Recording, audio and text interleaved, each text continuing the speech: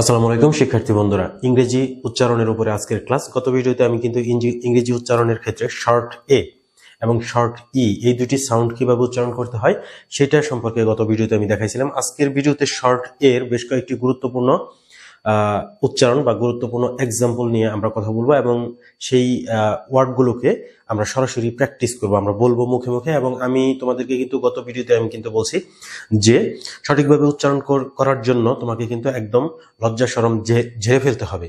মানে তুমি যদি বলার ক্ষেত্রে তুমি যদি লজ্জা পাও, কে কি মনে করবে, এটা যদি তুমি মানে হচ্ছে যে তুমি এটা মনে করে যদি তুমি কথা বলা বন্ধ রাখো, তাহলে কিন্তু সঠিক উচ্চারণ তুমি কিন্তু কখনো সঠিক উচ্চারণ করে ইংরেজিতে কিন্তু কথা বলতে পারবে না।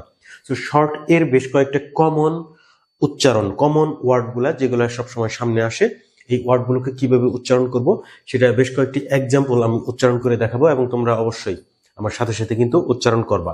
আর হচ্ছে যে এই ওয়ার্ডগুলো যদি তুমি সঠিকভাবে উচ্চারণ করতে না পারো, তাহলে তুমি একটা ওয়ার্ড বলবা, কিন্তু তোমার লিসেনার যারা থাকবে, তারা কিন্তু ভুলবশত অন্য কিছু কিন্তু মনে করতে পারে। এরকম এক্সাম্পল কিন্তু এখানে আছে, তুমি দেখবে একটু পরেই।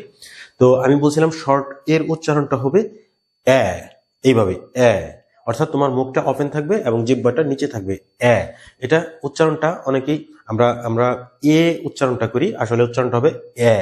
এইভাবে উচ্চারণটা হবে। তো যেমন হচ্ছে ক্যানন, এটা উচ্চারণটা হবে আসলে ক্যানন খ্যা মানে এর উচ্চারণটা আসতে হবে, ক্যানন। তোমরা আমার সাথে সাথে বলবা, ক্যানন। এভাবে উচ্চারণটা করতে হবে অ্যাপল অ্যাপল এ আসছে কিন্তু। তারপর হচ্ছে দ্য গ্যাপ গ্যাপ এইভাবে উচ্চারণটা করতে হবে।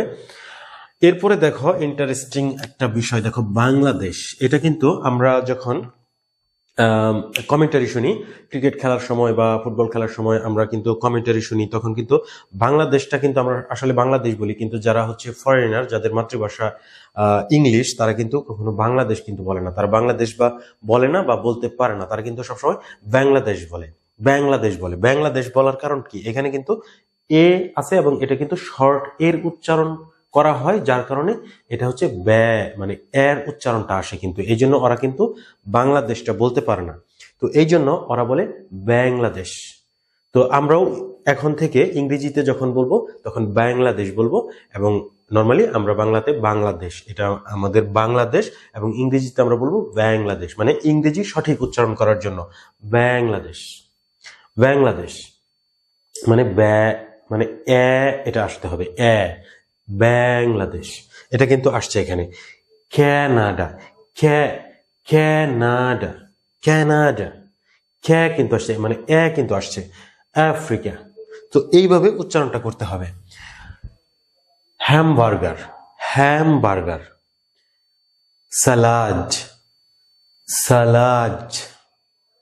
তারপরে হচ্ছে স্ন্যাক্স।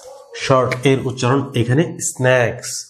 দেখো, এটা যদি আমরা শর্ট এর উচ্চারণ যদি আমরা সঠিকভাবে না করতে পারি, তাহলে কিন্তু স্ন্যাক্স স্ন্যাক্স হয়ে যাবে মানে সাপ, যেটা কিন্তু আমার লিসেনাররা কিন্তু বুঝতে ভুল করবে। স্ন্যাক্স এটা হবে মানে এর জন্য স্ন্যাক্স এটা হচ্ছে শর্ট এর উচ্চারণ মানে শুধু এর জন্য না, এটা কিন্তু শর্ট এ। এই জন্য স্ন্যাক্স স্ন্যাক্স এভাবে উচ্চারণটা করতে হবে। Albert Einstein Albert Tom Hanks Hanks তো এইটা এইখানে কিন্তু দুইটা শর্ট এর উচ্চারণ করতে হবে।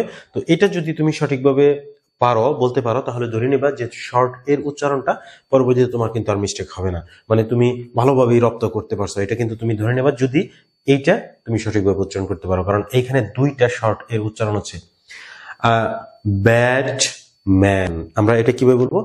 ব্যাট ব্যাট ম্যান আমরা যদি একটু মানে তাড়াতাড়ি বলতে চাই দ্রুত বলতে চাই তাহলেও কিন্তু আমাদেরকে ওই- একইভাবে উচ্চারণ করতে হবে। ব্যাটম্যান, অর্থাৎ ওপেন থাকবে মুখ। ব্যাটম্যান। এবার আমি আরেকটু তাড়াতাড়ি বলি, ব্যাটম্যান। সো ওপেন থাকবে, আমরা যদি বলি, ব্যাটম্যান ব্যাটম্যান। তাহলে কিন্তু এই শর্ট এর উচ্চারণটা কিন্তু হইল না, আমাদের মুখ কিন্তু ওপেন করে বলতে হবে। আমরা তাড়াতাড়ি বলব, কিন্তু তারপরেও ওপেন করে বলতে হবে। ব্যাটম্যান। এইভাবে কিন্তু বলতে হবে।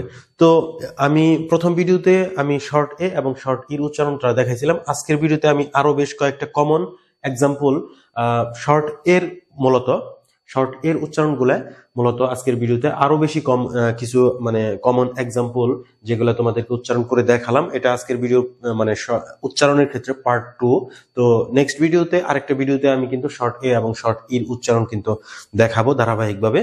তো যারা আজকের ভিডিও দেখলা, তারা আশা করি বুঝতে পারছ যে কীভাবে শর্ট এর উচ্চারণটা করতে হবে এবং যারা প্রথম ভিডিও দেখো নাই তারা দেখে আসবা, তাহলে তোমাদের আরও একটু বেশি ক্লিয়ার হয়ে যাবে এবং আরও ভালোভাবে বুঝতে পারবা। এবং পরবর্তীতে আরেকটা ভিডিও এই শর্ট এ এবং শর্ট ইর উচ্চারণ জনিত আরেকটা ভিডিও কিন্তু আমি পাবলিশ করতে যাচ্ছি খুবই রিসেন্টলি তো ওই ভিডিওটাও পাবলিশ হওয়ার সাথে সাথে পাওয়ার জন্য চ্যানেলটা এখনই ফলো এবং সাবস্ক্রাইব করে রাখো ফেসবুক এবং ইউটিউব থেকে যদি এখনও করে না থাকো। ভিডিওটা যদি ভালো লাগে লাইক কমেন্ট শেয়ার করবা। ভিডিওটি দেখার জন্য তোমাদেরকে অসংখ্য ধন্যবাদ। Thanks for watching this video thank you